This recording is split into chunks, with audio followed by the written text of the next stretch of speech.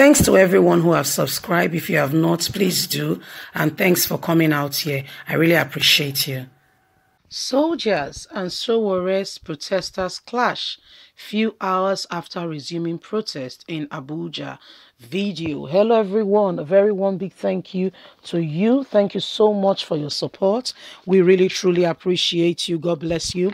Thanks for always being there. This morning, we presented you with the news that EndSARS protest has started again. And guess what? Who is leading the pack at this time? Yes, so the one and only conveyor, uh, Revolution Conveyor, Omoyele Sowore have started the protest again in Abuja, where they have closed the police headquarters as well as the airport so that everyone coming in and out of Abuja can see exactly what is going on. Nigerian youth went on and protested with regards to police brutality, but Nigerian government, you know, stole the show when uh, some hoodlums and what have you got into the whole process and destabilized the reason, the whole reason why youths stood up to say enough is enough a lot has been going on and um, i mean we've made our claims but up until now we've not really gotten substantial and quality response. What they did was that they brought hoodlums to come and destabilize the whole process. Anyway the process has started again and this time we move. This is what is happening. Let's get straight into the news and get all the details. You just watched the video of all that is happening in abuja. Yes we are standing up together as a unit as one people because police brutality and evil in our society have to come to an end. Let's get straight and get all the details. Hmm. Soldiers and Sowore protesters clash few hours resuming protests in Abuja.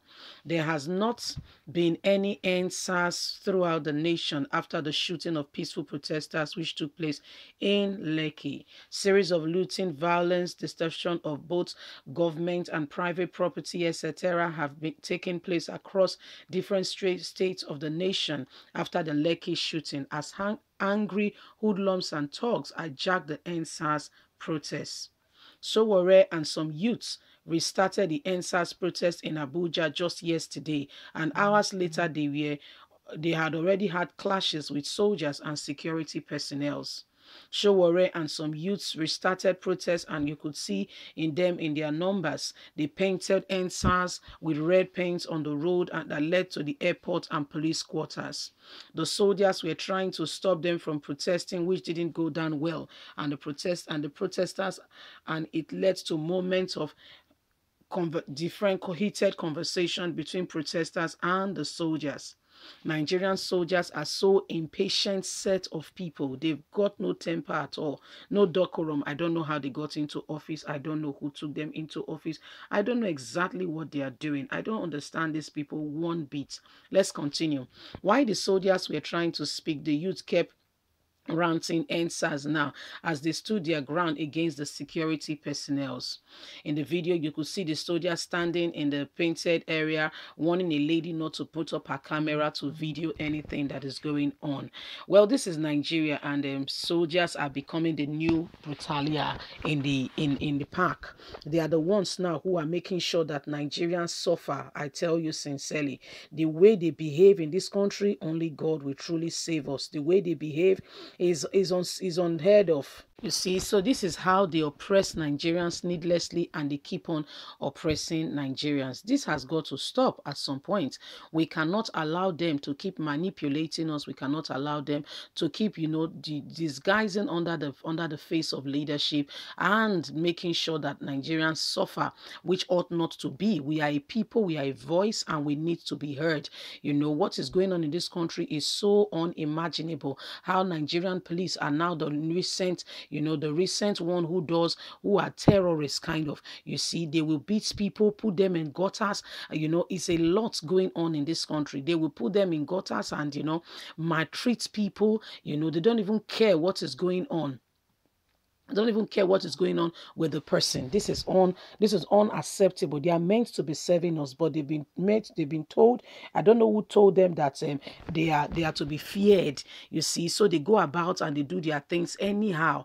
Is on is is unethical. Is unheard of, and should never be done. Anyway, my people, this is happening in Nigeria. Uh, EndSARS again is picking up momentum, and very soon we'll be keeping you up to date as the matter unfolds. This is actually happening again and again we are beginning to see you know different words being said here and there with regards to this EndSARS protest. And Nigeria is moving forward. We were saying today and we are saying it again that is enough enough of police brutality enough of evil going on in our society. We cannot allow it to continue. Leave us a comment. Let's hear your thoughts. God so that was what Bruno Mokri did today you know started the whole EndSARS uh, protest thing and um, the army you could see the army came around trying to stop them them. They wrote it on the ground. And I mean, in this country, only God will really help us. You know, God has to help us in this country. Freedom of expression, freedom of rights is being trampled upon because our leaders have no value and have passed it down to the security agencies that are supposed to be protecting life and property in the states. But guess what? They are now the aggressive ones. You know, we presented you with a news today of what happened in Oyo State, where a girl, I mean, with no, with no, with no uh, acceptance that dressing indecently is wrong, is right. I beg your pardon, but you don't, you don't go around and start hitting people on the road. I mean, a lady, she was being flogged on the streets because she dressed indecently. Yes, I know what she's done is wrong. You're not, we, we, don't condone such, and we're not saying what she has done is right in any way. But you don't just go ahead and start hitting people. You don't go ahead and start intimidating people. That's what Nigerian government have started doing, you know, and they're allowing it. Then in a broad daylight, they allow evil to continue. Nobody, you know, uh, looking out for the for the for the welfare of the public. The welfare, the public has now become the ones who are serving them. They are not servant leaders. They are not people who truly want the voice of the people to be heard. In fact, if anything, they want to suppress the masses more and more oppression at the peak. You know, we don't see the Muhammadu Buhari, who is supposed to be Nigerian leader. Where is he? Where is he? All we hear is Garba Shehu, we're hearing Femi Adesina, or they are trying to do some cover up. Is this a country? When it was time for election in 2015, they were going around the country. You know, it's making one to want to believe, you know, regarding what people are saying that happened in 2017. And yet they've not even tried to say, okay, let us even bring out the Buhari to address this, the, the, the, the nation. It does not address anybody. He stays there. The whole EndSARS thing was to go out, was to it was going to blow up. You know, they had to find a way to try to cover up the whole matter, and that would have led to so many things. But guys, this is what is happening in this country. We need to rise up. We need to make them know that we have a voice. We are a people, and we cannot be intimidated. It's wrong. You cannot you cannot intimidate the very people you're supposed to be protecting, the very people you, you came into office and you sworn to protect. Apparently, it's, it's, that's not the case.